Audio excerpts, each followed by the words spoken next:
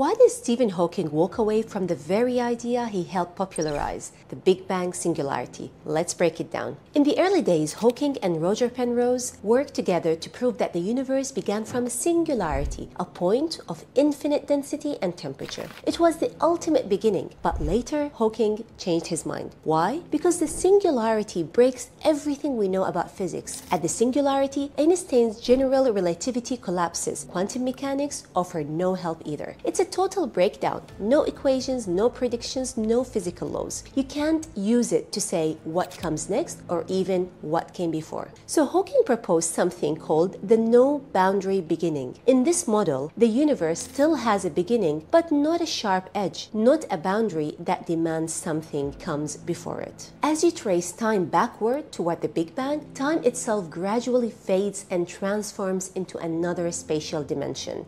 At the very beginning, time simply does not exist. No time, no before. So the question, what came before the universe, becomes meaningless, according to Hawking. The universe, in his view, creates itself from within through quantum probabilities without needing anything outside of it. Hawking's goal? To replace the singularity where physics breaks down with a universe that exists in all possible states. Only when it was observed did one universe becomes real which is ours. Hawking proposes that the universe began as a quantum event where quantum mechanics laws still hold. But here's the big question. Even if there is no time before Big Bang and actually before has no meaning here, does that mean we do not need to find the cause of the Big Bang, even a time-independent cause? Saying that the universe existed in a state of quantum fluctuations where no time exists still means that the universe needed a space, no matter how small, for those fluctuations